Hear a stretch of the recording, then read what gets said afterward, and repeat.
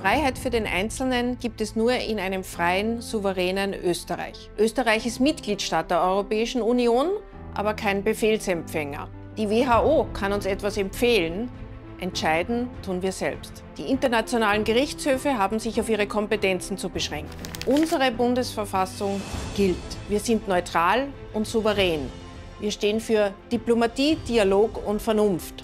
Nein zur NATO, Nein zu Sky Shield, Ja zu unserer umfassenden Landesverteidigung.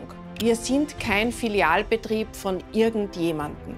Mit der FPÖ in der Regierung sitzt unsere Bundesregierung in Wien und nicht in Brüssel. Unsere Festung Österreich hat einen funktionierenden Grenzschutz und wir stehen für den Stopp des zunehmenden Bevölkerungsaustausches durch die permanente illegale Masseneinwanderung.